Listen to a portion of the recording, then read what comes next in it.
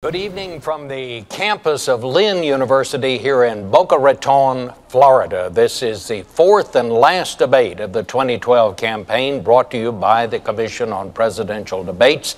This one's on foreign policy. I'm Bob Schieffer of CBS News. The questions are mine, and I have not shared them with the candidates or their aides. The audience has taken a vow of silence, no applause, no reaction of any kind, except right now when we welcome President Barack Obama and Governor Mitt Romney.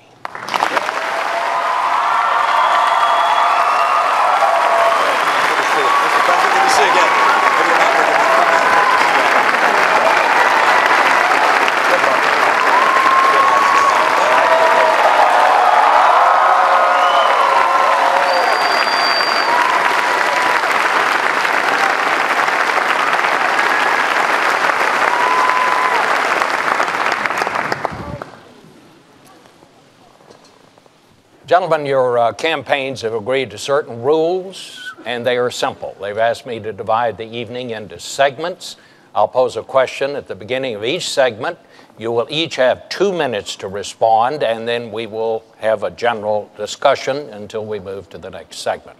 Tonight's debate, as both of you know, comes on the 50th anniversary of the night that President Kennedy told the world that the Soviet Union had installed nuclear missiles in Cuba, perhaps the closest we've ever come to nuclear war. And it is a sobering reminder that every president faces at some point an unexpected threat to our national security from abroad. So let's begin. The first segment is the uh, challenge of a uh, changing Middle East and the new face of terrorism. I'm going to put this into two segments, so you'll have two topic questions within this one segment on that subject. The first uh, question, and it concerns Libya. The uh, controversy over what happened there continues. Four Americans are dead, including an American ambassador. Questions remain. Uh, what happened? What caused it? Was it spontaneous? Was it an intelligence failure? Was it a policy failure? Uh, was there an attempt to mislead people about what really happened? Governor Romney you said this was an example of an American policy in the Middle East that is unraveling before our very eyes. I'd like to hear each of you give your thoughts on that. Governor Romney, you won the uh, toss. You go first. Thank you, Bob, and uh, thank you for agreeing to moderate this debate this evening. Thank you to Lynn University for welcoming us here. And Mr. President, it's good to be with you again. We were together at a humorous event a little earlier, and uh, it's nice to uh, maybe be funny this time, not on purpose. We'll see what happens. um, uh, this is obviously an area of great concern to the entire world and to America in particular, which is to see uh, a, a, complete change in the, the, the structure and the, um, the environment in the Middle East. With the Arab Spring came a great deal of hope that there would be a change towards more moderation, an opportunity for greater participation on the part of women in, in public life and in uh, economic life in the Middle East, but instead we've seen in nation after nation uh, a number of disturbing events. Of course, we see in Syria 30,000 civilians having been killed by the military there. Uh, we see in, in, uh, uh, in Libya uh, an attack apparently by, well, I think we know now, by terrorists of some kind against, against our people there. Four people dead. Our hearts and, and minds go to them.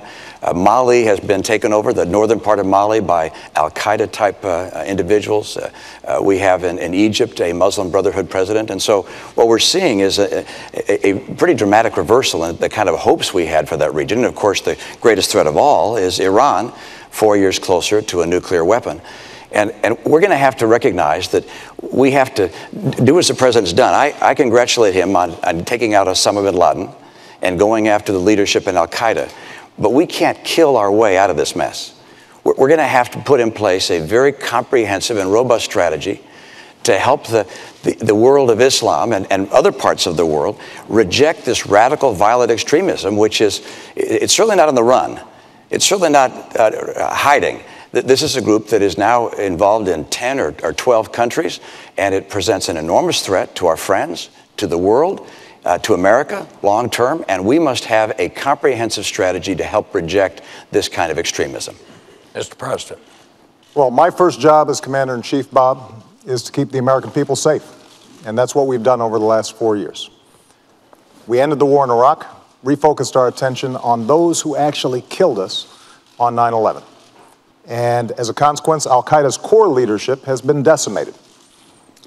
In addition, we're now able to transition out of Afghanistan in a responsible way, making sure that Afghans take responsibility for their own security. And that allows us also to rebuild alliances and make friends around the world to combat future threats. Now, with respect to Libya, uh, as I indicated in the last debate, when we received that phone call, I immediately made sure that number one, we did everything we could to secure those Americans who were still in harm's way. Number two, that we would investigate exactly what happened. And number three, most importantly, that we would go after those who killed Americans and we would bring them to justice. And that's exactly what we're going to do. But I think it's important to step back and think about what happened in Libya. And keep in mind that I and Americans took leadership in organizing an international coalition that made sure that we were able to, without putting troops on the ground, at the cost of less than what we spent in two weeks in Iraq, liberate a country that had been under the yoke of dictatorship for 40 years, got rid of a despot who had killed Americans. And as a consequence, despite this tragedy, you had tens of thousands of Libyans after the events in Benghazi marching and saying, America is our friend. We stand with them. Now, that represents the opportunity we have to take advantage of. And you know, Governor Romney, I'm glad that uh, you agree that we have been successful in going after Al Qaeda. But I have to tell you that you know, your strategy previously has been one that has been all over the map and is not designed to keep Americans safe or to build on the opportunities that exist in the Middle East. Well, my strategy is pretty straightforward, which is uh, to go after the bad guys, uh, to make sure we do our very best to interrupt them, to, to uh, uh kill them, to uh, uh, take them out of the picture. But my strategy is broader than, than, that. That's, that's important, of course. But the key that we're going to have to pursue is a, is a pathway to, to get the Muslim world to be able to reject extremism on its own. We don't want another Iraq. We don't want another Afghanistan. That's not the right course for us. The right course for us is to make sure that we go after the, the people who are leaders of these various uh, anti American uh, groups and these, these jihadists, but also help the Muslim world. And how do we do that? The group of Arab scholars came together, uh, organized by the UN, to look at how we can help the, the world reject these, uh, these terrorists. And the answer they came up with was this one more economic development. We should key our foreign aid, our direct foreign investment, and that of our friends. We should coordinate it to make sure that we, we push back and give them more economic development. Number two, better education. Number three, gender equality. Number four, the rule of law. We have to help these nations create civil societies. But what's been happening over the last couple of years is as we've watched this tumult in the Middle East, this rising tide of chaos occur, you see Al Qaeda rushing in, you see other jihadist groups rushing in, and, and they're throughout many nations in the Middle East. It's wonderful that Libya seems to be making some progress despite this terrible tragedy. But next door, of course, we have Egypt. Libya's 6 million population, Egypt 80 million population. We, we, want, we want to make sure that we're seeing progress throughout the Middle East, with Mali now having North Mali taken over by Al Qaeda, with Syria having uh, Assad continuing to assassinate, or to kill, to murder his own people. Uh, th- this is a region in well, tumult, and of course, Iran let's see what, on, on the path to a n- nuclear weapon. We've got real we'll problems in the that, region. But let's uh, give the president a chance. Governor Romney, I'm glad that you recognize that Al Qaeda is a threat. Because a few months ago, when you were asked what's the biggest geopolitical threat facing America, you said Russia. Not Al Qaeda, you said Russia. In the 1980s are now calling to ask for their foreign policy back because you know, the Cold War has been over for 20 years. But, Governor, you know, when it comes to our foreign policy, you seem to want to import the foreign policies of the 1980s, just like the social policies of the 1950s and the economic policies of the 1920s. You say that you're not interested in duplicating what happened in Iraq, but just a few weeks ago you said you think we should have more troops in Iraq right now. And the, the, the challenge we have, I know you haven't been in a position to, to actually execute foreign policy, but every time you've offered an opinion, you've been wrong. You said we should have gone into Iraq, despite the fact that there were no weapons of mass destruction. You said that we should still have troops in Iraq to this day. You indicated that uh, we shouldn't be passing uh, nuclear uh, treaties with Russia, despite the fact that 71 senators, Democrats and Republicans, voted for it. You've said that first we should not have a timeline in Afghanistan, then you said we should, now you say maybe, or it depends, uh, which means not only were you wrong, but you were also confusing and sending mixed messages both to our troops and our allies. So, what, what we need to do with respect to the Middle East is strong, steady leadership, not wrong and reckless leadership that is all over the map. And unfortunately, that's the kind of opinions that you've offered throughout this campaign. And it is not a recipe for American strength or keeping America safe over the I'm long going to add a couple of sec- minutes here to give you a chance to respond. Well, of course, uh, I don't uh, concur with what the president said about my own record and the things that I've said. Uh, they don't happen to be accurate. But, uh, but I can say this that we're talking about the Middle East and how to help the Middle East reject the kind of terrorism we're seeing and the rising tide of tumult and, and confusion. And, and attacking me is not an agenda. Attacking me is not talking about how we're going to deal with the challenges that exist in the Middle East and take advantage of the opportunity there and stem the tide of this violence. But I'll respond to a couple of things you mentioned. First of all, Russia, I indicated, is a geopolitical foe. Not a, Number one excuse me, it's a geopolitical foe. And I said in the same in the same paragraph, I said, and Iran is the greatest national security threat we face. Russia does continue to battle us in the UN time and time again. I have clear eyes on this. I'm not going to wear rose-colored glasses when it comes to Russia or Mr. Putin, and I'm certainly not going to say to him, I'll give him more flexibility after the election. After the election, he'll get more backbone. Number two, with regards to Iraq, you and I agreed, I believe, that there should have been a status of forces agreement. That's Did you? true. Oh, you didn't. You didn't want a status of forces No, agreement. what I, what I would not have done is left 10,000 troops in Iraq that would tie us down. That certainly would not help us in the Middle East. I'm sorry. Look, you actually there was a there was an here- effort on the part of the president to have a status is- of forces here is- agreement, and I concurred in that and said that we should have some number of troops that stayed on. That was something I concurred with. That was your posture. That was my posture as well. You Let- thought it should have been 5,000 troops. I thought it should have been more troops. But you know what? this the is answer was just we a got no troops ago. through whatsoever. Th- This is just This a few weeks ago that you indicated that we should still have troops in Iraq. No, I didn't. Now, that- I'm sorry. That's just, that- you, you I made a- indicated a that major you. speech. I indicated that you failed to put in place a status of Governor. forces agreement at the end of the conflict that exists. Governor, in here- But you here's, know here's, here's one You thing. know I've, here's Let- one thing. I've, here's, here's one please. thing I've learned as commander in chief. You've got to be clear, both to our allies and our enemies, about where you stand and what you mean. Now, you just gave a speech a few weeks ago in which you said we should still have troops in Iraq. That is not a recipe for making sure that we are taking advantage of the opportunities and meeting the challenges of the Middle East. Now, it is absolutely true that we cannot just meet these challenges militarily. And so, what I've done throughout my presidency and will continue to do is number one, make sure that these countries are supporting our counterterrorism efforts. Number two, make sure that they are standing by uh, our interests in Israel's security because it is a true friend and our greatest ally in the region. Number three, we do have to make sure that we're protecting religious minorities and women because these countries can't develop unless all the population, not just half of it, is developing. Number four, we do have to develop their economic, uh, their economic capabilities. But number five, the other thing that we have to do is recognize that we can't continue to do nation building in these regions. Part of American leadership is making sure that we're doing nation building here at home. That will help us uh, maintain the kind of American leadership that we need. Let me uh, interject the second topic question in this segment about the Middle East and so on, and that is uh, you both mentioned, uh, alluded to this, and that is Syria. War in Syria has now spilled over into Lebanon. We have, what, uh, more than 100 people that were killed there in a bomb. There were demonstrations there, eight people dead. Uh, Mr. President, it's been more than a year since you saw, uh, you told Assad uh, he had to go. Since then, 30,000 Syrians have died. Uh, we've had 300,000 refugees. The war goes on. He's still there. Should we reassess our policy and see if we can find a better way to influence events there, or is that even possible? And it's you, you go first, sir. What we've done is organize the international community saying Assad has to go, We've mobilized sanctions against that government. We have made sure that they are isolated.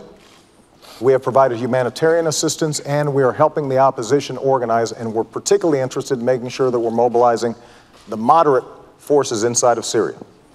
But ultimately, Syrians are going to have to determine their own future.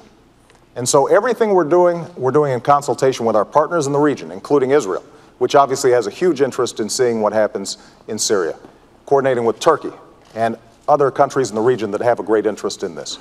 Now, this, what we're seeing taking place in Syria is heartbreaking.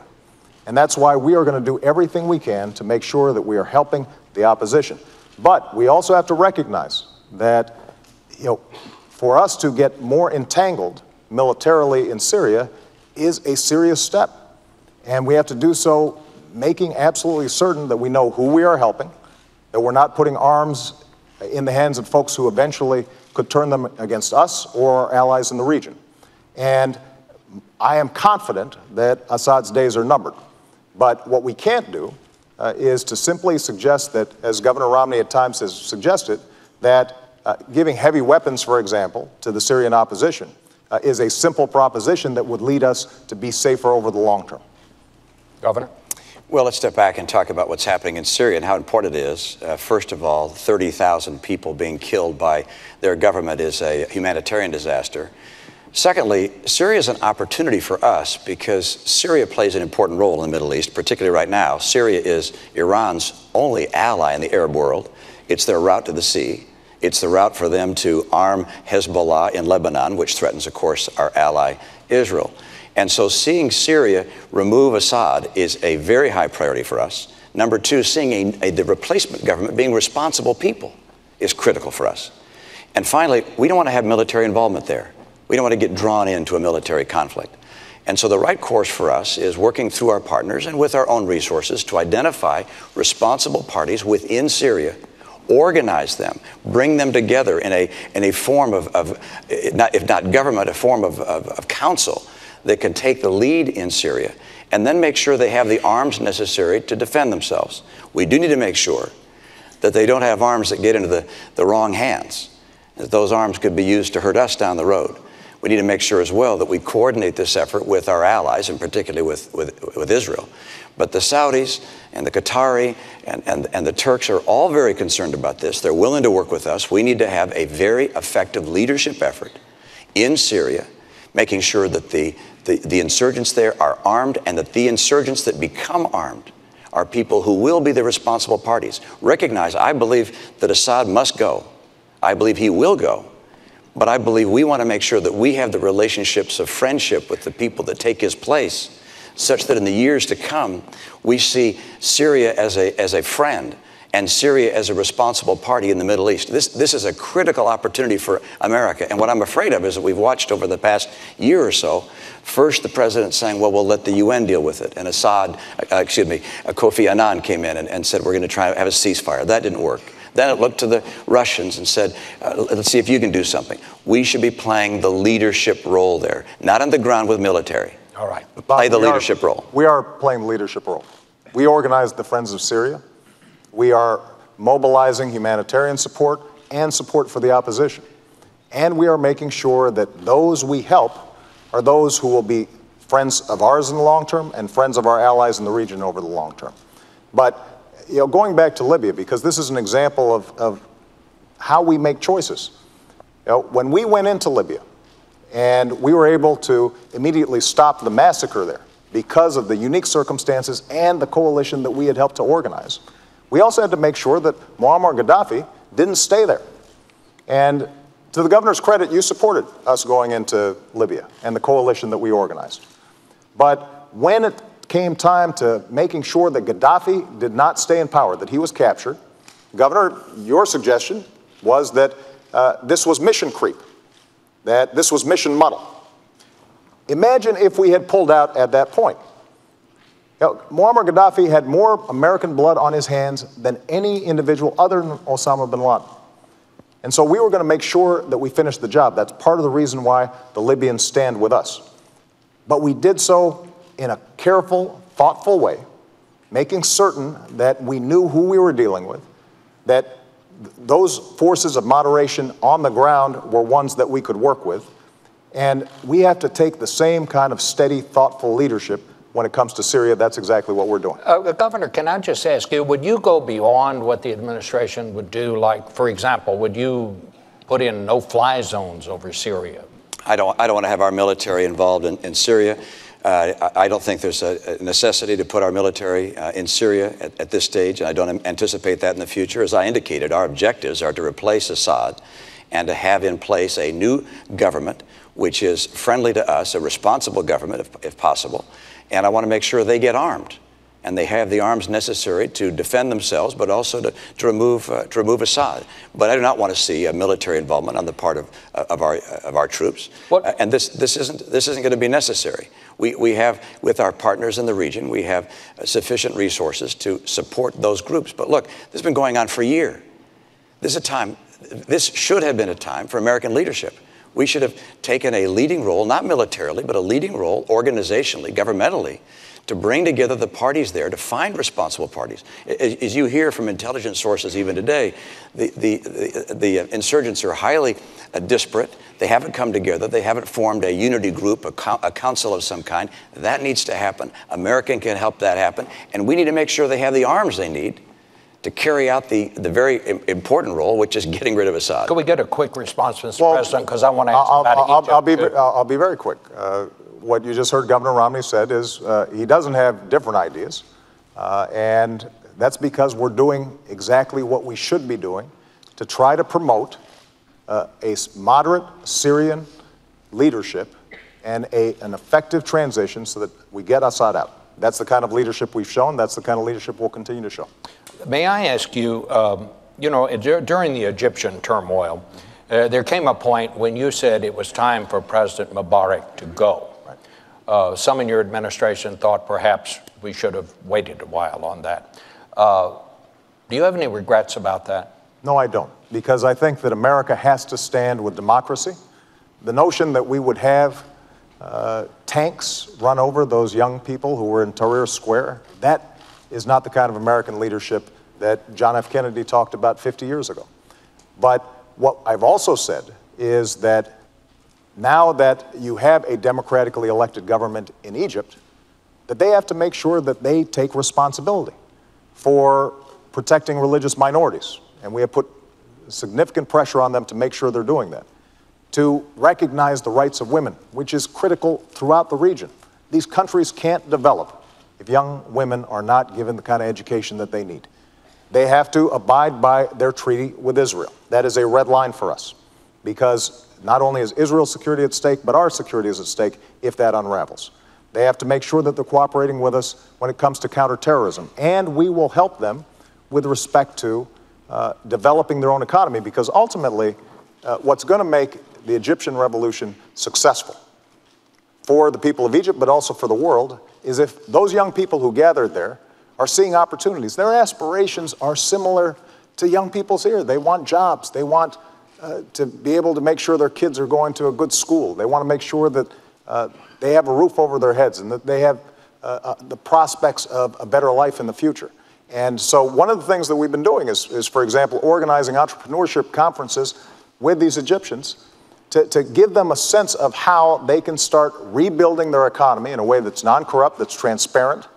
Uh, but what is also important for us to understand is, is that for America to be successful in this region, uh, there's some things that we're going to have to do here at home as well. Uh, the, you know, one of the challenges over the last decade is we've done uh, uh, experiments in nation building in places like Iraq and Afghanistan, and we've neglected, for example, developing uh, our own economy, our own energy sectors, our own education system. And it's very hard for us to project leadership around the world when we're not doing what we need to do. Governor Romney, uh, uh, I want to hear your response to that, but I would just ask you would you have stuck with Mubarak? Uh, no, I, I, believe, as the president uh, indicated and, and, said at the time, that I supported his, his action there. I felt that I, I, wish we'd have had a better vision of the future. I, I, wish that looking back at the beginning of the president's term and even further back than that, that we'd have recognized that there was a growing uh, energy and passion for freedom in that part of the world, and that we would have worked more aggressively with our, our friend and with other friends in the region to have them make the transition towards a more representative form of government, such that it didn't explode in the way it did. But, but once it exploded, I felt the same as the president did, which is these, these freedom voices in the, the, the streets of, of, of, Egypt were the people who were, were speaking of our principles. And the, the uh, President Mubarak had done things which were unimaginable. Uh, and, the, and the idea of him crushing his people was not something that we could possibly uh, support. Let me, let me step back and talk about what I think our mission has to be in the Middle East and even more broadly. Because our purpose is to make sure the world is more is peaceful. We, we want a peaceful planet. We want people to be able to enjoy their lives and know they're going to have a bright and prosperous future and not be at war. That's our purpose. And the mantle of, of leadership for the, promoting the principles of peace has fallen to America. We didn't ask for it, but it's an honor that we have it. But for us to be able to promote those principles of peace requires us to be strong.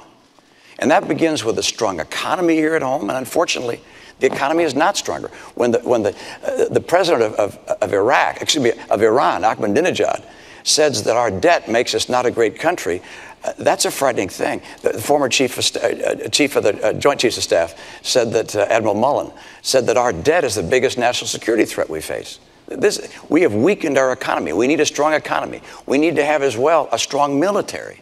Our military is second to none in the world. We're blessed with terrific soldiers and extraordinary technology and intelligence. But the idea of a trillion dollars in cuts through sequestration and budget cuts to the military would change that. We need to have strong allies. Our association and, and connection with our allies is essential to America's strength. We're the, the great nation that has allies, 42 allies and friends around the world. And finally, we have to stand by our principles. And if we're strong in each of those things, American influence will grow. But unfortunately, in nowhere in the world is America's influence greater today than it was four years ago. All right. And that's because we've become weaker uh, on each of those four dimensions. Perfect. You're going to get a chance to respond to that because that's a perfect segue into our next segment, and that is what is America's role in the world? And that is the question. What do each of you see as our role in the world? And uh, I believe, Governor Romney, it's your turn to go first. Well, I, I absolutely believe that America has a, a responsibility and the privilege of helping defend freedom and promote the principles uh, that, that make the world more peaceful. And those principles include human rights, human dignity, free enterprise, freedom of expression, elections, because when there are elections, people tend to vote for peace. They don't vote for war. So we want to, to promote those principles around the world. We recognize that there are places of conflict in the world. We want to end those conflicts to the extent humanly possible. But in order to be able to fulfill our role in the world, America must be strong. America must lead. And for that to happen, we have to strengthen our economy here at home. You can't have 23 million people struggling to get a job. You, you can't have an economy that over the last three years keeps slowing down its growth rate. You can't have kids coming out of college, half of whom can't find a job today or a job that's commensurate with their college degree. We have to get our economy going. And our military. We've got to strengthen our military long term. We don't know what the world is going to throw at us down the road. We, we make decisions today in a military that, that will confront challenges we can't imagine. In the 2000 debates, uh, there was no mention of terrorism, for instance. And a year later, 9 11 happened. So we have to make decisions based upon uncertainty. And that means a strong military. I will not cut our military budget we have to also stand by our allies. I, I think the tension that existed between Israel and the United States was very unfortunate. I think also that pulling our missile defense uh, program out of Poland in the way we did was also unfortunate in terms of, uh, if, if, you will, disrupting the, the, the, relationship in some ways that existed between us. And then, of course, with regards to standing for our principles, when, when the students took to the streets in Tehran and the people there protested, the Green Revolution occurred. For the president to be silent, I thought, was an enormous mistake. We have to stand for our principles, stand for our allies, stand for a strong military, and stand for a stronger economy. Mr. President. America remains the one indispensable nation. And the world needs a strong America, and it is stronger now than when I came into office. Because we ended the war in Iraq, we were able to refocus our attention on not only the terrorist threat, but also beginning a transition process in Afghanistan. It also allowed us to refocus on alliances and relationships that had been neglected for a decade. And Governor Romney, our alliances have never been stronger in Asia, in Europe, in Africa, with Israel, where we have unprecedented military uh, and intelligence cooperation, including dealing with the Iranian threat. But what we also have been able to do is position ourselves so we can start rebuilding America. And that's what my plan does. Making sure that we're bringing manufacturing back to our shores so that we're creating jobs here, as we've done with the auto industry, not rewarding companies that are shipping jobs overseas. Making sure that we've got the best education system in the world, including retraining our workers for the jobs of tomorrow. Doing everything we can to control our own energy. We've cut our oil imports to the lowest level in two decades because we've developed oil and natural gas, but we also have to develop clean energy uh, technologies that will allow us to cut our exports in half by 2020. That's the kind of leadership that we need to show. And we've got to make sure that we reduce our deficit. Unfortunately, Governor Romney's plan doesn't do it. We've got to do it in a responsible way by cutting out spending we don't need, but also by asking the wealthiest to pay a little bit more. That way we can invest in the research and technology that's always kept us at the cutting edge. Now, uh, Governor Romney has taken a different approach throughout this campaign. You know, both at home and abroad, he has proposed wrong and reckless policies. You know, he's praised George Bush as a good economic steward and Dick Cheney as somebody who shows great wisdom and judgment. And taking us back to those kinds of strategies that got us into this mess are not the way that we are going to maintain leadership in the 21st century. Governor Romney, wrong and reckless policies? uh, I've got a policy for the future and an agenda for the future. And when it comes to our economy here at home, I know what it takes to create 12 million new jobs and rising take home pay. And what we've seen over the last four years is something I don't want to see over the next four years. The, the president said by now we'd be at 5.4% unemployment. We're 9 million jobs short of that. I will get America working again and see rising take home pay again, and I'll do it with five simple steps. Number one, we are going to have North American energy independence. We're going to do it by taking full advantage of oil, coal, gas, nuclear, and our renewables. Number two, we're going to increase our trade. Trade grows about 12% per year. It doubles about every, every five or, or so years. We can do better than that, particularly in Latin America. The opportunities for us in Latin America, we have just not taken advantage of fully. As a matter of fact, Latin America's economy is almost as big as the economy of China. We're all focused on China. Latin America is a huge opportunity for us. Time zone, language opportunities. Number three, we're going to have to have training programs that work for our workers and schools that finally put the parents and the teachers and the kids first, and the teachers' union is going to have to go behind. And then we're going to have to get to a balanced budget. We can't expect entrepreneurs and businesses large and small to take their life savings or their company's money and invest in America if they think we're headed to the road to Greece. And that's where we're going right now unless we finally get off this spending and borrowing binge. And I'll get us on track to a balanced budget. And finally, number five, we've got to champion small business. Small business is where, sm- where jobs come from. Two thirds of our jobs come from small businesses. New business formation is down at the lowest level in 30 years under this administration. I want to bring it back and get back good jobs and rising take home pay. Well, let's talk about what we need to compete. Uh, first of all, Governor Romney talks about small businesses, but Governor, when you were uh, in Massachusetts, uh, small businesses uh, development ranked about 48th, I think, out of 50 states in Massachusetts, because the policies that you're promoting actually don't help small businesses. And the way you define small businesses include uh, folks at the very top. And they include you and me.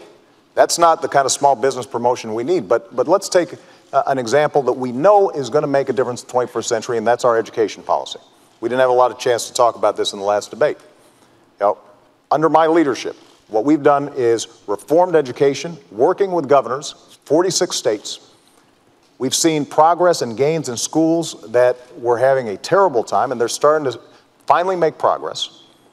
And what I now want to do is to hire more teachers, especially in math and science, because we know that we've fallen behind when it comes to math and science. And those teachers can make a difference.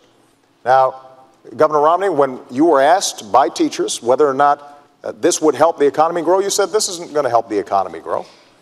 When you were asked about reduced class sizes, you said class sizes don't make a difference. But I tell you, if you talk to teachers, they will tell you it does make a difference. And if we've got math teachers who are able to provide the kind of support that they need for our kids, That's what's going to determine whether or not the new businesses are created here, companies are going to locate here, depending on whether we've got the most highly skilled workforce, and the kinds of budget proposals that you've put forward. When we don't ask either you or me to pay a dime more in terms of reducing the deficit, but instead we slash support for education, that's undermining our long term competitiveness. That is not good for America's position in the world. And the world notices. Let me get back to foreign policy. Well, Can let- I just get back? Well, I, I need to speak a moment, if you Okay. let me, Bob, just about education, because Okay. I'm, I'm, uh, I'm so proud of the state that I had the chance to be governor of. Um, we have, uh, uh, every two years, tests that look at how well our kids are doing. Fourth graders and eighth graders are tested in English and math. While I was governor, I was proud that our fourth graders came out number one of all 50 states in English, and then also in math. And our eighth graders, number one in English, and also in math. First time one state had been number one in all four measures. How do we do that? Well, Republicans and Democrats came together on a bipartisan basis to put in place education principles that focused on having great teachers in the classroom. 10 years and that was what was that was what allowed us to become the number one state in the nation. But that was 10 And years this is- before you took and we were- office. and we Gentlemen. absolutely. And then you the- cut the education spending when the you came first- into office. The first, and we kept our schools number one in the nation. They're still number one today. All right. And the principles that we put in place, we also gave kids not just a graduation exam that, that determined whether they were up to the skills needed to, to be able to compete, but also if they graduated the top quarter of their class, they got a four-year tuition-free ride at any Massachusetts public institution of higher learning. That happened Governor- before you came into Well, office. that Governor. was actually mine, actually. Uh, Mr. President, you got that just- fact wrong. I, I want to try to shift it because we have heard some of this in the other debates. Governor, you say you want a bigger military, you want a bigger Navy, uh, uh, you don't want to cut defense spending. Uh, what I want to ask you, we're talking about financial problems in this country. Where are you going to get the money? Well, let's let's come back and talk about the military, but all the way all the way through. First of all, I'm going through from the very beginning. We're going to cut about five percent of the uh, discretionary budget, excluding military. That's number one. But can all right? you do and that's this without you know, driving the, us good, the good news is I'll, I'll be happy to have you take a look. Come on our website. You'll look at how we get to a balanced budget within eight to 10 years. We do it by getting by reducing spending in a whole series of programs. By the way, number one I get rid of is Obamacare. Uh, there, there are a number of things that sound good, but frankly, we just can't afford them. And that one doesn't sound good, and it's not affordable. So I get rid of that one from day one. I, uh, to the extent humanly possible, we get that out. We take program after program that we don't absolutely have to have, and we get rid of them. Number two, we take some programs that we are going to keep, like Medicaid, which is a program for the poor. We take that health care program for the poor, and we give it to the states to run because states run these programs more efficiently. As a governor, I thought, please give me this program. Can he I do can, that? I can run this more Mr. efficiently President? than the federal government, and states, by the way, are proving it. States like Arizona, Rhode Island have taken these, these Medicaid dollars, have shown they can run these programs more cost effectively. Bob, and so I want to do those two things. It gets us it gets us to a balanced budget with eight in eight to ten years. Bob- but the military. Let, uh, let, let's let's get back to the military though. Well, You- well, that's what I'm trying to well, find let's, out let's talk about. about the I military. wanna- you should have answered the first question. Look, Governor Romney's called for $5 trillion of tax cuts that he says he's going to pay for by closing deductions. Now, the math doesn't work, but he continues to claim that he's going to do it. He then wants to spend another $2 trillion on military spending that our military's not asking for. Now, keep in mind that mil- our military spending has gone up every single year that I've been in office. We spend more on our military than the next 10 countries combined China, Russia, France, the United, Kingdom, you name it. Next 10. And what I did was work with our Joint Chiefs of Staff to think about what are we going to need in the future to make sure that we are safe. And that's the budget that we've put forward. But what you can't do is spend $2 trillion in additional military spending that the military is not asking for, $5 trillion on tax cuts. You say that you're going to pay for it by closing loopholes and deductions without naming what those loopholes and deductions are. And then somehow you're also going to deal with the deficit that we've already got. The math simply doesn't work. But when it comes to our military, what we have to think about is not, you know, just budgets. We've got to think about capabilities. We need to be thinking about cybersecurity. We need to th- be thinking about space. That's exactly what our budget does, but it's driven by strategy. It's not driven by politics. It's not driven by members of Congress and what they would like to see. It's driven by what are we going to need to keep the American people safe. That's exactly what our budget does. And it also then allows us to reduce our deficit, which is a significant national security concern, because we've got to make sure that our economy is strong at home so that we can project military power overseas. Bob, uh, I'm pleased that I balance budgets. I was in the world of business for 25 years. If you didn't balance your budget, you went out of business.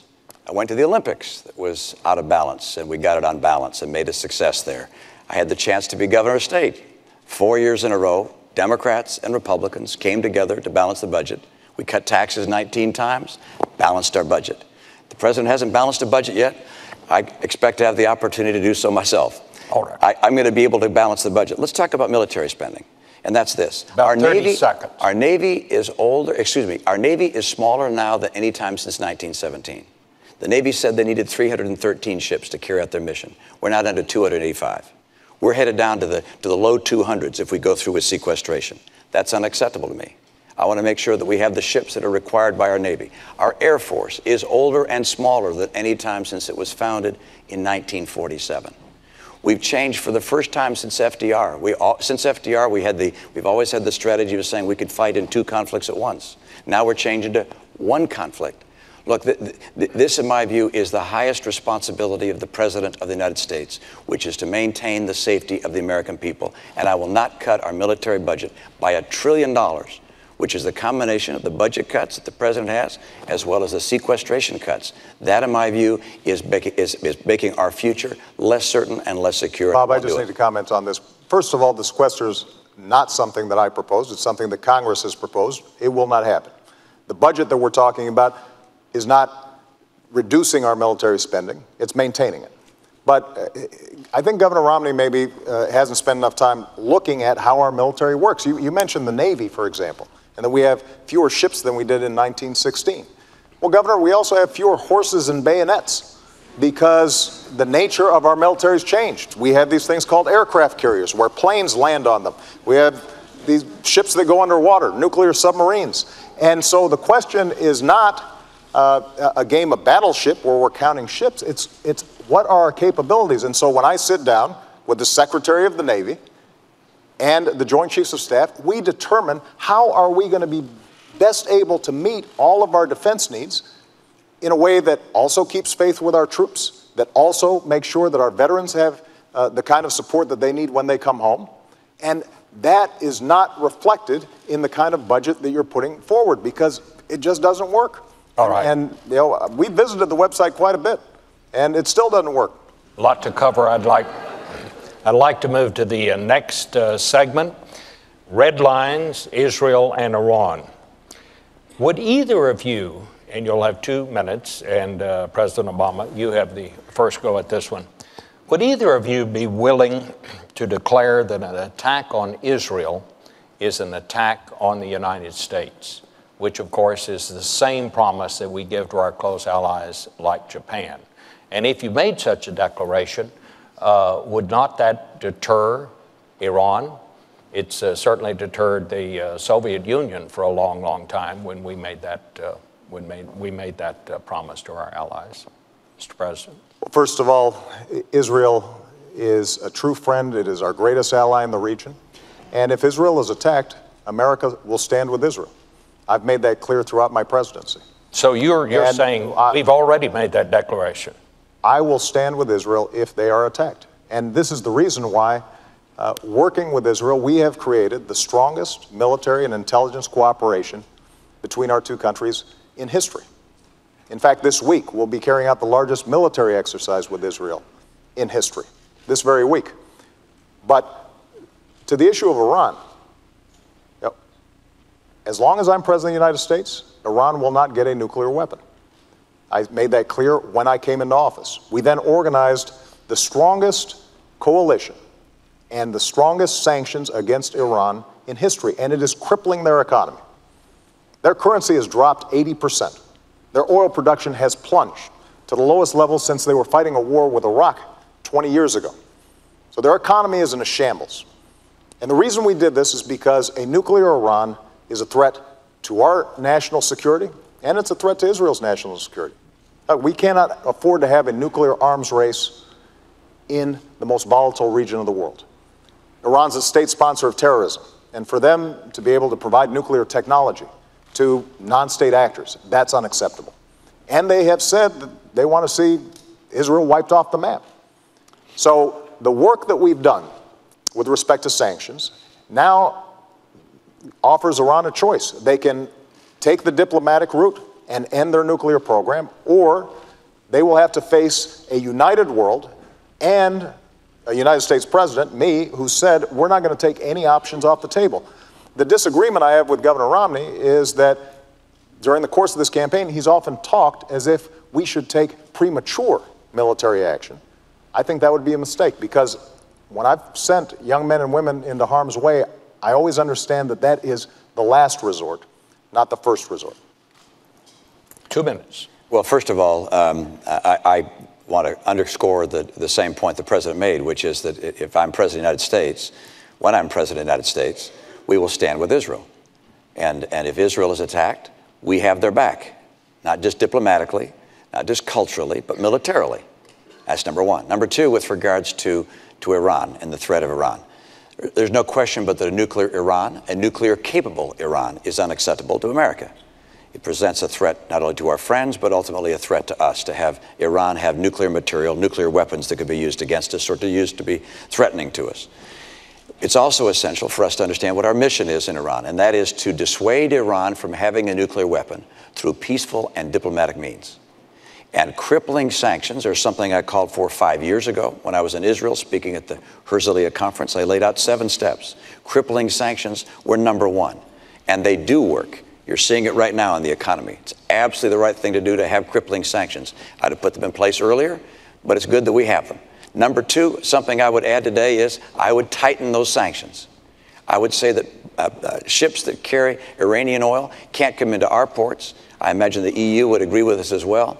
Not only ships couldn't, I'd say companies that are moving their oil can't, people who are trading in their oil can't. I would tighten those sanctions further. Secondly, I'd take on diplomatic isolation efforts. I'd make sure that Ahmadinejad is indicted under the Genocide Convention. His words amount to genocide incitation. I would indict him for it. I would also make sure that their diplomats are treated like the pariah they are around the world, the same way we treated the apartheid uh, diplomats of South Africa. We need to increase pressure time and time again on Iran because anything other than a, a, uh, a, solution to this which says which stops this, this nuclear folly of theirs is unacceptable to America. And of course, a military action is the last resort. It is something one would only, only consider if all of the other avenues had been, had been uh, tried to their full extent. Let me ask both of you. There as you know, there are reports that Iran and the United States, as part of an international group, have agreed in principle uh, to talks about Iran's nuclear program. What is the deal, if there are such talks? What is the deal that you would accept, Mr. President? Well, first of all, uh, those are reports in the newspaper. Uh, they are not true. Uh, but our goal is to get Iran to recognize it needs to give up its nuclear program and abide by the UN resolutions that have been in place because they have the opportunity to re enter the community of nations. And we would welcome that. There are, there are people in Iran who have the same aspirations as people all around the world for a better life. And we hope that their leadership takes the right decision. But the deal we'll accept is they end their nuclear program. It's very straightforward. And you know, I'm glad that Governor Romney agrees with the steps that we're taking. Uh, I, you know, there have been times, Governor, frankly, during the course of this campaign where uh, it sounded like uh, you thought that you'd do the same things we did, but you'd say them louder, and somehow that, that would make a difference. And it turns out that the work involved in setting up these crippling sanctions is painstaking, it's meticulous. We started from the day we got into office, and the reason it was so important, and this is a testament to how we've restored American credibility and strength around the world is we had to make sure that all the countries participated, even countries like Russia and China. Because if it's just us that are imposing sanctions, we've had sanctions in place for a long time. it's because we got everybody to agree that Iran is seeing so much pressure. And we've got to maintain that pressure. There is a deal to be had, and that is that they abide by the rules that have already been established. They convince the international community they are not pursuing a nuclear program. There are inspections that are very intrusive, but over time, what they can do is re, uh, regain credibility. In the meantime, though, we're not going to let up the pressure until we have clear evidence that, that takes place. And one last thing, uh, just, just to make this point the clock is ticking. we're not going to allow Iran to perpetually engage in negotiations that lead nowhere. And I've been very clear to them. You know, because of the intelligence coordination that we do with a range of countries, including Israel, we have a sense of when they would get breakout capacity, which means that we would not be able to intervene in time to stop their nuclear program. And that clock is ticking. And All we're right. going to make sure that uh, if they do not meet uh, the demands of the international community, then uh, we are going to take all options necessary to make sure they don't have a nuclear weapon. Governor. I think uh, from the very beginning, one of the challenges we've had with Iran is that they have looked at this administration and, and, felt that the administration was not as strong as it needed to be. I think they saw weakness where they had expected to find American strength. And I say that because from the very beginning, the president in his campaign some four years ago said he'd meet with all the world's worst actors in his first year. He'd, he'd sit down with Chavez and, and Kim Jong il, uh, with uh, uh, Castro, and with, uh, with President Ahmadinejad of, of Iran. And, uh, and I think they looked and thought, well, that's an unusual uh, honor to receive from the President of the United States. And then the President began what I've called an apology tour of going to, to various nations in the Middle East and, and criticizing America. I think they looked at that and saw weakness. Then, when there were dissidents in the streets of Tehran, a green revolution, uh, holding signs saying, Is America with us? The president was silent. I think they noticed that as well. And I think that when the president said he was going to create daylight between ourselves and Israel, that, that they noticed that as well. All of these things suggested, I think, to the Iranian mullahs that, hey, you know, we can keep on pushing along here. We can keep talks going on, but we're just going to keep on spinning centrifuges. Now there are some 10,000 centrifuges spinning uranium preparing to, to create a, a, a nuclear threat to the United States and to the world.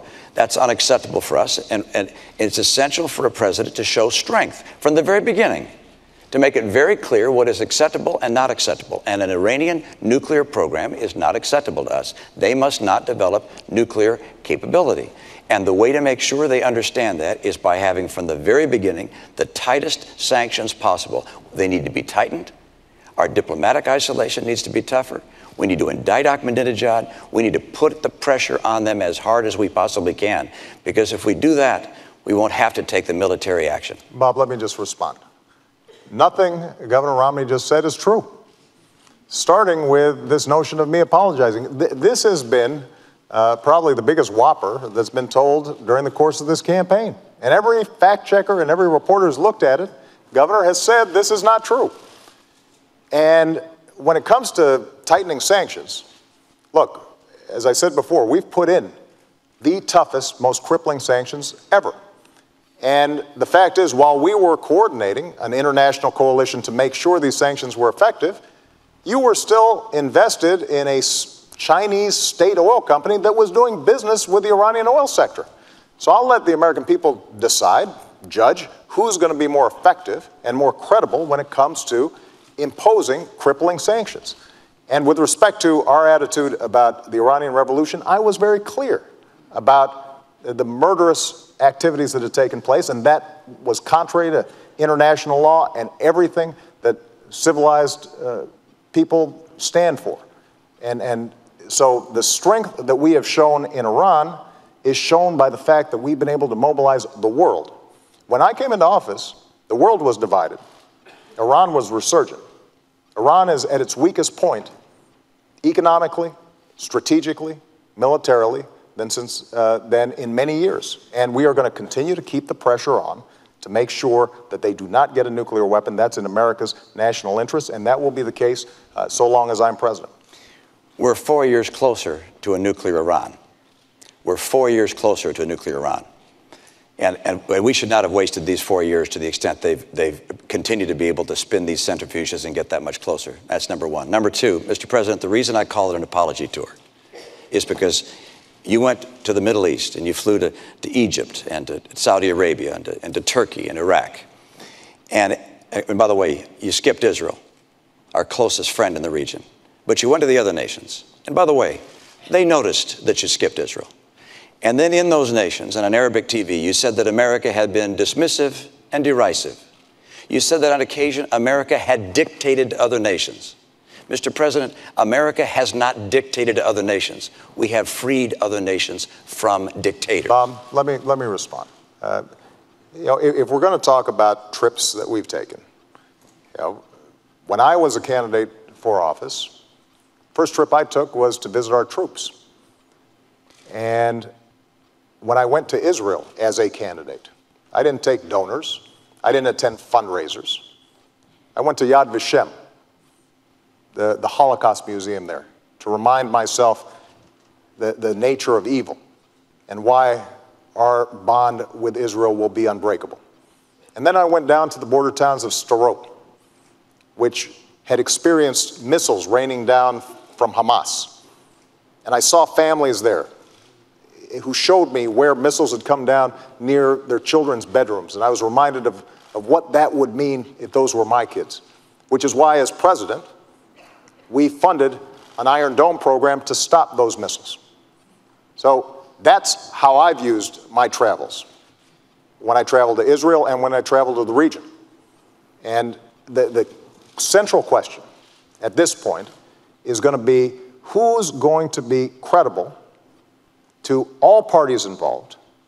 And they can look at my track record, whether it's Iran sanctions, whether it's dealing with counterterrorism, whether it's supporting democracy, whether it's supporting women's rights, whether it's supporting religious minorities, and they can say that the President of the United States and the United States of America has stood on the right side of history.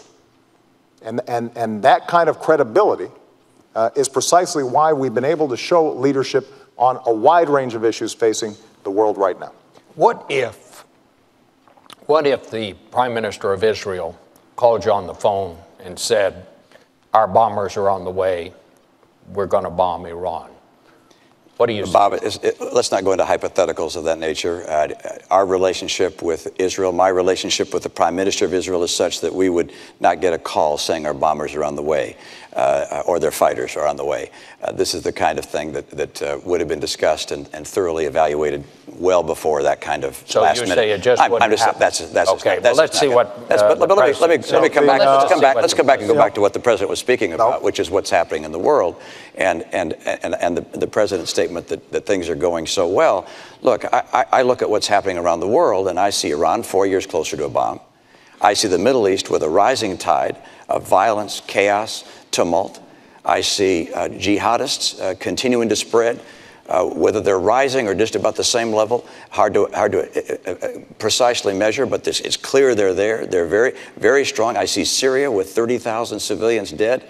Assad still in power. I see our trade deficit with China uh, larger than it's uh, growing larger every year, as a matter of fact. I, I, look around the world and I, I don't feel that, that you see North Korea uh, continuing to export their nuclear technology. Russia said they're not going to follow Nunn Lugar anymore.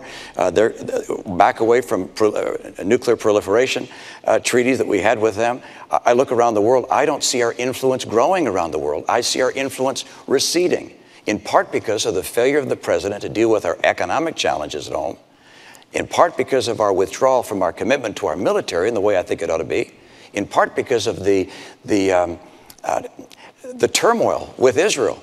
I mean, the president received a letter from 38 Democrat senators saying the tensions with Israel were a real problem. They asked him, please repair the tension. Democrat senators, please repair the damage right. in, his, in his own party. Governor, the, the problem is, is that on a whole range of issues, whether it's the Middle East, whether it's Afghanistan, whether it's Iraq, whether it's now uh, Iran. Uh, you've been all over the map. I mean, I'm, I'm pleased that you now are endorsing our policy of applying diplomatic pressure and potentially having uh, bilateral discussions with the Iranians to end their nuclear program. But just a few years ago, you said that's something you'd never do. In the same way that you initially opposed a timetable in Afghanistan. Now you're for it, although it depends. In the same way that you say you would have ended the war in Iraq, but recently gave a speech saying that we should have 20,000 more folks in there. The same way that you said that it was mission creep to go after uh, Gaddafi. When it comes to going after Osama bin Laden, you said, well, any president would make that call. But when you were a candidate in 2008, as I was, and I said if I got bin Laden in our sights, I would take that shot. You said we shouldn't move heaven and earth to get one man. And you said we should ask Pakistan for permission. And if we had asked Pakistan for permission, we would not have gotten it. And it was worth moving heaven and earth to get him.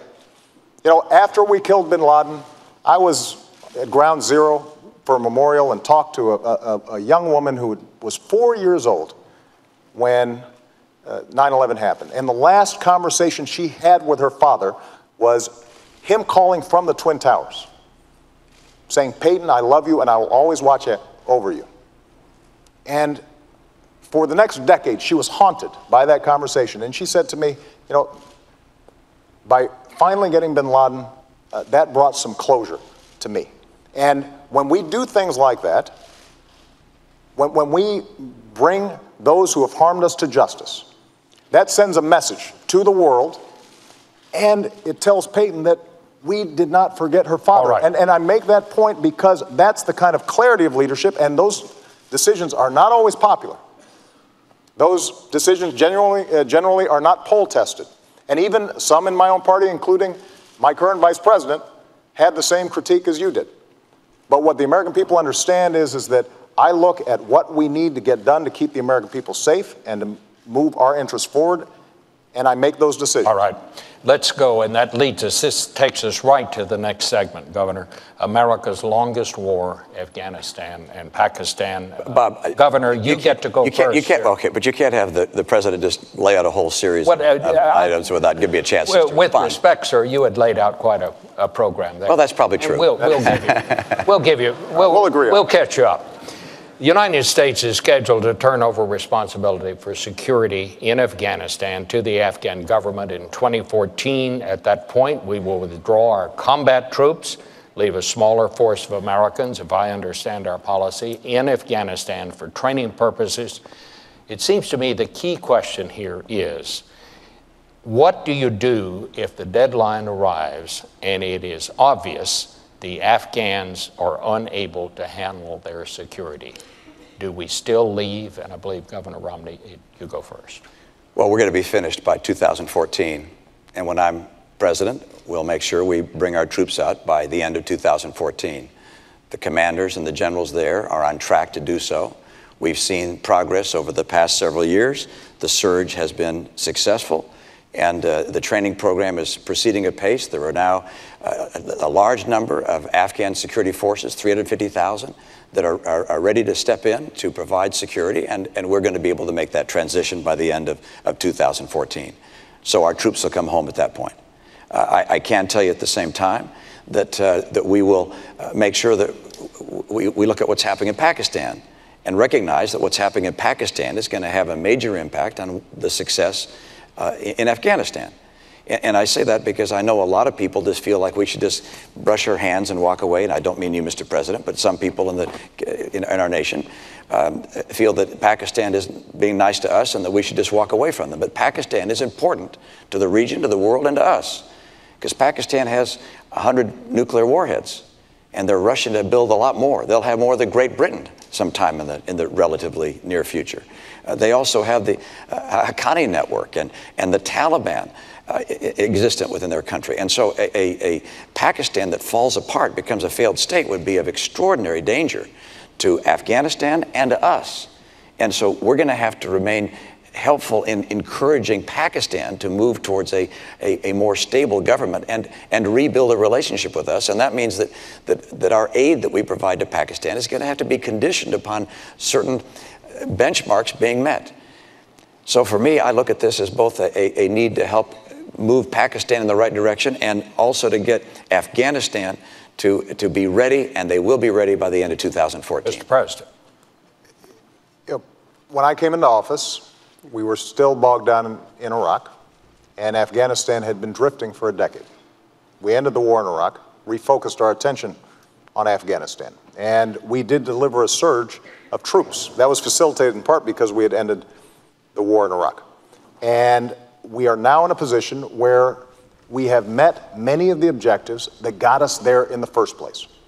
Part of what had happened is we'd forgotten why we had gone. We went because there were people who were responsible for 3,000 American deaths. And so we decimated Al Qaeda's core leadership in the border regions between uh, Afghanistan and Pakistan. We then started to build up Afghan forces.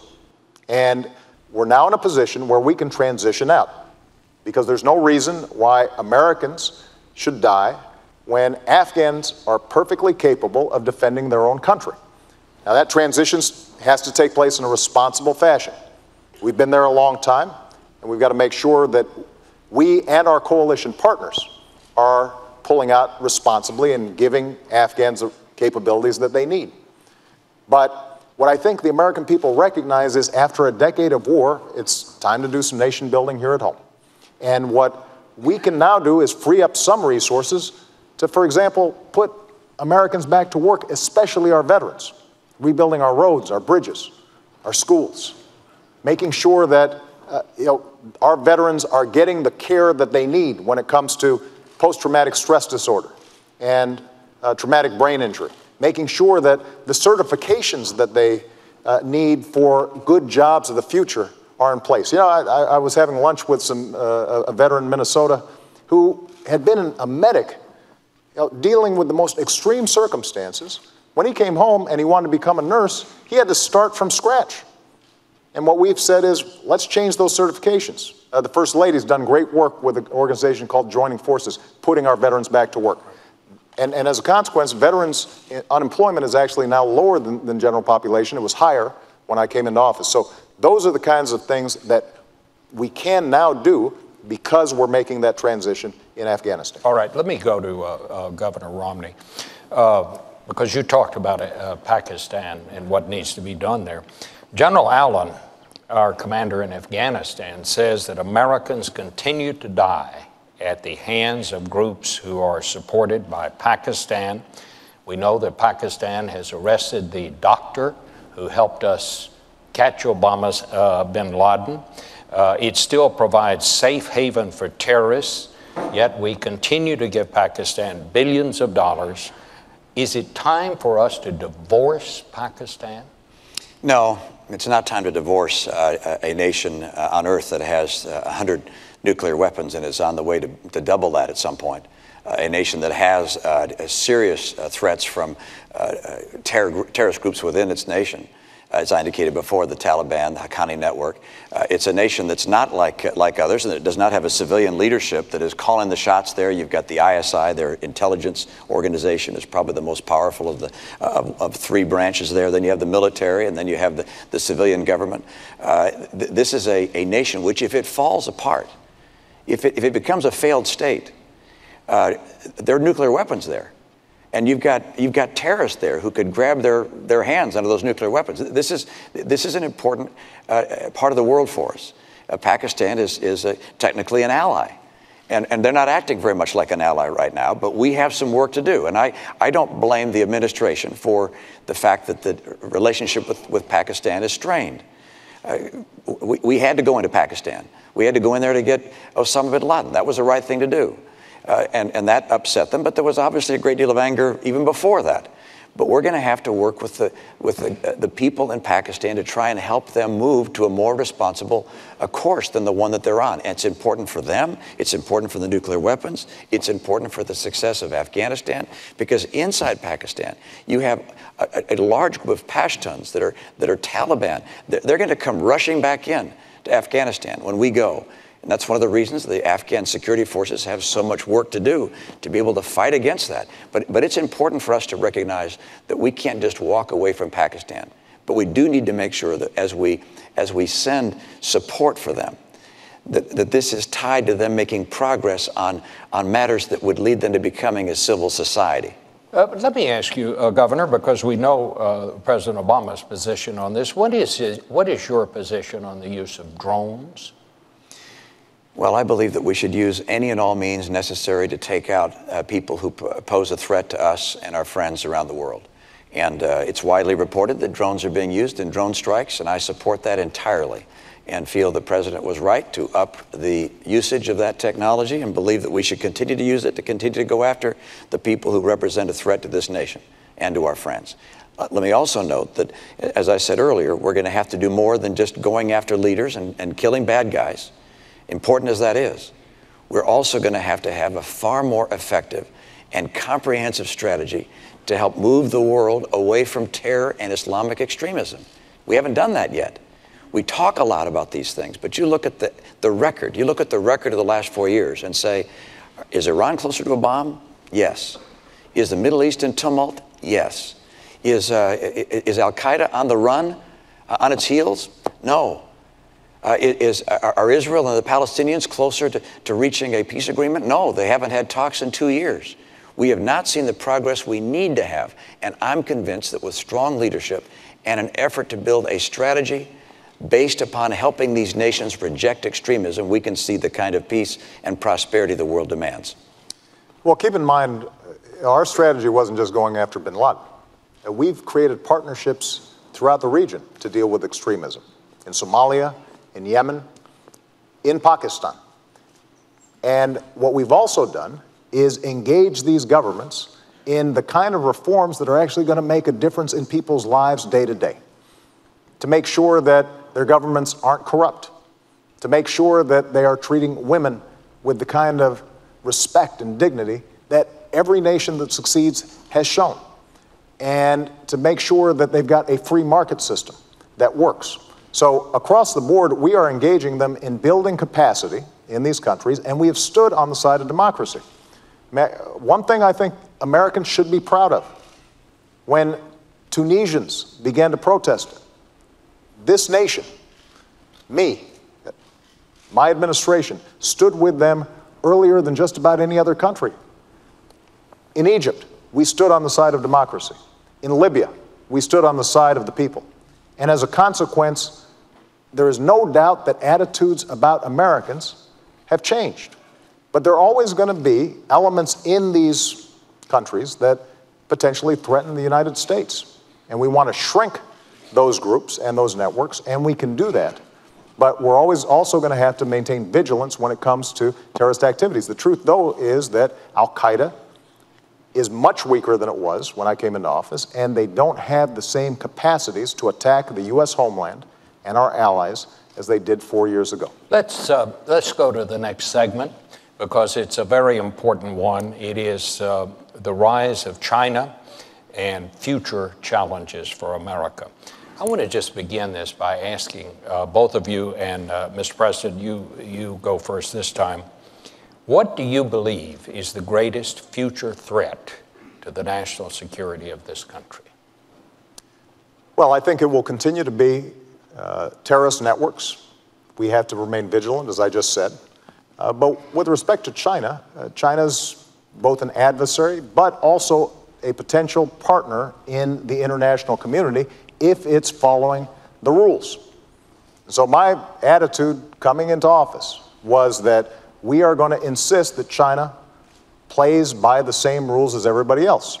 And I know Americans have had seen jobs being shipped overseas, businesses and workers not getting a level playing field when it came to trade. And that's the reason why I set up a trade task force to uh, go after cheaters when it came to international trade. That's the reason why we have brought more cases against China for violating trade rules than the, other, uh, the previous administration had done in two terms. And we've won just about every case that we filed that, that has been decided. In fact, just recently, steel workers in Ohio and uh, throughout the Midwest, Pennsylvania, are in a position now to sell steel to China because we won that case. We had a tire case in which they were flooding us with cheap domestic tires or, or, or cheap uh, Chinese tires. And we put a stop to it. and as a consequence, saved jobs throughout America. I have to say that Governor Romney criticized me for being too tough in that tire case. Said this wouldn't be good for American workers and that it would be protectionist. But I tell you, those workers don't feel that way. They feel as if they had finally an administration who was going to take this issue seriously. Over the long term, in order for us to compete with China, we've also got to make sure, though, that we're taking, taking care of business here at home. If we don't have the best education system in the world, if we don't continue to put money into research and technology that will allow us to, to create great businesses here in the United States, that's how we lose the competition. And unfortunately, Governor Romney's budget uh, and his proposals would not allow us to make those investments. All right. Governor. Well, first of all, it's not government that makes business successful. It's not government investments that make businesses grow and hire people. Uh, let me also note that the greatest threat that the world faces, the greatest national security threat, is a nuclear Iran. Um, let's talk about China. Uh, China has an interest that's very much like ours in one respect, and that is they want a stable world. They don't want war. They don't want to see uh, protectionism.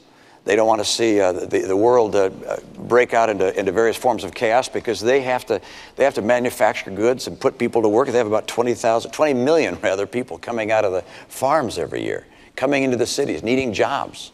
So they want the economy to work and the world to be free and open. And so we can be a partner with China. We don't have to be an adversary in any way, shape, or form. We can work with them. We can collaborate with them if they're willing to be responsible. Now, they look at us and say, is it a good idea to be with America? How, strong are we going to be? How strong is our economy? They look at the fact that we owe them a trillion dollars and owe other people 16 trillion in total, including them. They, they look at our, our decision to, to cut back on our military capabilities. A trillion dollars. The Secretary of Defense called these trillion dollars of cuts to our military devastating. It's not my term. It's the President's own Secretary of Defense called them devastating. They look at, at, at America's uh, commitments around the world and they see what's happening and they say, well, okay, is America going to be strong? And the answer is yes. If I'm president, America will be very strong. We'll also make sure that we have trade relations with China that work for us. I've watched year in and year out as companies have shut down and people have lost their jobs because China has not played by the same rules. In part by holding down artificially the value of their currency, it holds down the prices of their goods. It means our goods aren't as competitive and we lose jobs. That's got to end. They're making some progress. They need to make more. That's why on day one, I will label them a currency manipulator, which allows us to apply tariffs where they're taking jobs. They're stealing our intellectual property, our patents, our designs, our technology, hacking into our computers, counterfeiting our goods. They have to understand we want to trade with them. We want a world that's stable. We like free enterprise, but you got to play by the rules. Uh, well, Governor, let me just ask you uh, if you declare them a currency manipulator on day one, some people are saying uh, you're just going to uh, start a trade war with China on day one. Is that isn't there a risk that that could happen? Well, they sell us about this much stuff every year, and we sell them about this much stuff every year. So it's pretty clear who doesn't want a trade war. And there's one going on right now, which we don't know about. It's a silent one, and, and they're winning. We have enormous trade imbalance with China, and it's worse this year than last year, and it's worse last year than the year before. And, and so we have to understand that we can't just surrender and, and lose jobs year in and year out. We have to say to our friends in China, look, you guys are playing aggressively. We understand it, but, but this can't keep on going. You can't keep on holding down the value of your currency, stealing our intellectual property, counterfeiting our products, selling them around the world, even into the United States. I was with one company that makes uh, uh, valves uh, in, in, process industries. And they said, look, we were, we were having some valves coming in that, that were broken, and we had to repair them under warranty. And we looked them up, and, and they had our serial number on them. And then we noticed that, there was more than one with that same serial number. There were counterfeit products being made overseas with the same serial number as a U.S. company, the same packaging. These were being sold into our market and around the world as if they were made by the U.S. competitor. This can't go on. I want a great relationship with China. China can be our partner, but, but that doesn't mean they can just roll all over us and steal our jobs on an unfair basis. Well, Governor Romney is right. Uh, you are familiar with jobs being shipped overseas because you invested in companies that were shipping jobs overseas. And, you know, that's, you're right. I mean, that's how our free market works. But I've made a different bet on American workers. You know, if we had taken your advice, Governor Romney, about our auto industry, we'd be buying cars from China instead of selling cars to China. If we take your advice with respect to how we change our tax codes so that companies that earn profits overseas don't pay U.S. taxes compared to companies here that are paying taxes, know, that's estimated to create 800,000 jobs. The problem is they won't be here, they'll be in places like China. And if we're not making investments in education and basic research, which is not something that the private sector is doing at a sufficient pace right now and has never done, then we will lose the lead in things like clean energy technology. Now, with respect to what we've done with China already, U.S. exports have doubled since I came into office to China, and actually, currencies are at their most advantageous point for U.S. exporters since 1993. We absolutely have to make more progress, and that's why we're going to keep on pressing. And when it comes to our military and Chinese security, part of the reason that we were able to uh, pivot to the Asia Pacific region after having ended the war in Iraq and transitioning out of Afghanistan is precisely because this is going to be a massive growth area in the future. And we believe China can be a partner, but we're also sending a very clear signal that America is a Pacific power, that we are going to have a presence there. We are working with countries in the region to make sure, for example, that ships can pass through, that, that commerce continues. And we're organizing trade relations with countries other than China so that China starts feeling more pressure about meeting basic international standards. That's the kind of leadership we've shown in the region. That's the kind of leadership that we'll continue to show. Uh, I just want to take one of those points. Um, again, attacking me is not talking about an agenda for, for getting more trade and opening up more jobs in this country. But, but the president mentioned the auto industry and that somehow I would be in favor of jobs being elsewhere. Nothing could be further from the truth. Uh, I'm a son of Detroit. I was born in, in Detroit. Uh, my dad was head of a car company. Uh, I like American cars. And uh, I would do nothing to hurt the U.S. auto industry.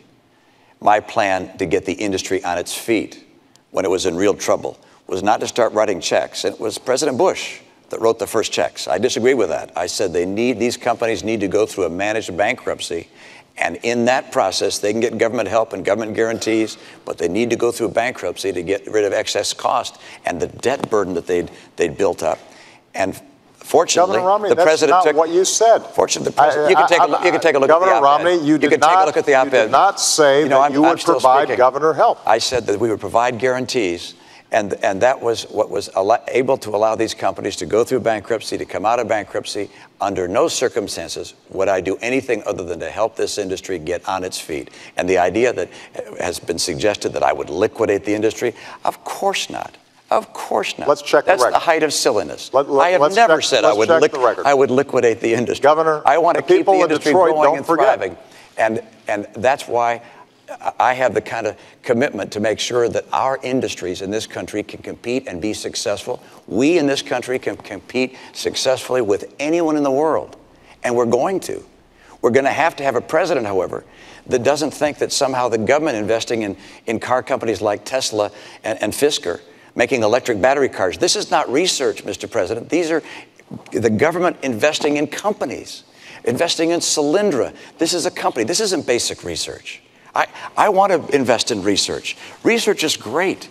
Providing funding to universities and think tanks, great. But investing in companies, absolutely not. Governor, That's the wrong way to go. the fact I'm, the st- I'm still speaking. well- so I want to make sure that we make, we make America more competitive Yeah. and that we do those things that make America the most attractive place in the world for entrepreneurs, innovators, businesses to grow. But your investing in companies doesn't do that. In fact, it makes it less likely for them to come here Governor. because the private sector is not going to invest in a, I'm in a, in a I'm- solar I'm- company. I'm happy to if, uh. You- if, if you're investing floor government money in someone else's. The, uh, look, I think anybody out there can check the record. Governor Romney, you keep on trying to you airbrush history here. You were very clear that you would not provide government assistance to the U.S. auto companies even if they went through bankruptcy. You said that they could get it in the private marketplace. That wasn't true. They would have gone through a liquid. You're wrong, I, Mr. uh, no, I am not You're wrong. wrong. I, I am not People wrong. can look it And- up. You're right. People will look it up. Good. But more importantly, it is true that in order for us to be competitive, we're going to have to make some smart choices right now. Cutting our education budget, that's not a smart choice. That will not help us compete with China. Cutting our investments in research and technology, that's not a smart choice. That will not help us compete with China.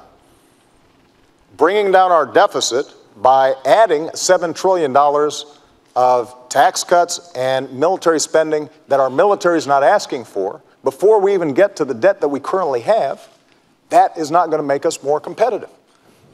Those are the kinds of choices that the American people face right now. Having a tax code that rewards companies that are shipping jobs overseas instead of companies that are investing here in the United States, that will not make us more competitive. And, and the one thing that I'm absolutely clear about is that after a decade in which we saw drift, jobs being shipped overseas, nobody championing American workers and American businesses, we've now begun to make some real progress. What we can't do is go back to the same policies that got us into such difficulty in the first place. And that's why we have to move forward and not go back.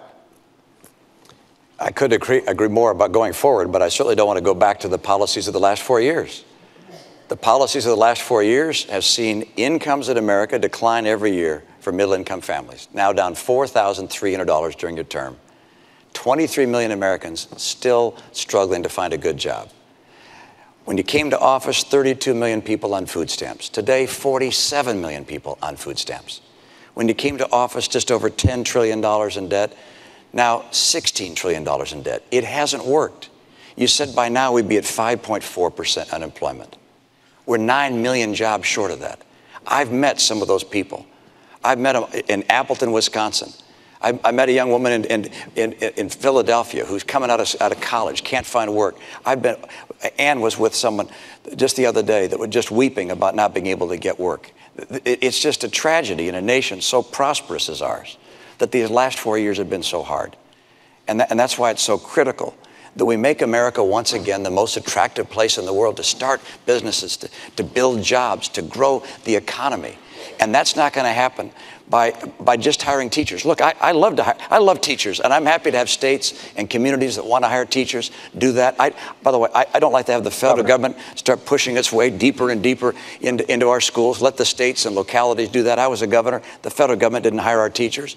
Governor. But, but I, I love teachers, but I want to get our private sector growing, and I know how to do it. I think we all love teachers. Gentlemen, thank you so much uh, for, for a very vigorous debate. We have come to the end. It is time for closing statements. I believe you're first, Mr. President. Well, thank you very much, Bob, Governor Romney, and to Lynn University. Now, you've now heard three debates, months of campaigning, and way too many TV commercials. and now you've got a choice. Now, over the last four years, we've made real progress digging our way out of policies that gave us two prolonged wars, record deficits, and the worst economic crisis since the Great Depression. And Governor Romney wants to take us back to those policies. Foreign policy that's wrong and reckless, uh, economic policies that won't create jobs, won't reduce our deficit, but will make sure that folks at the very top don't have to play by the same rules that you do. And I've got a different vision for America. I want to build on our strengths. And I've put forward a plan to make sure that we're bringing manufacturing jobs back to our shores by rewarding companies and small businesses that are investing here, not overseas. I want to make sure we've got the best education system in the world and we're, retaining our workers for the jobs of tomorrow. I want to control our own energy by developing oil and natural gas, but also the energy sources of the future.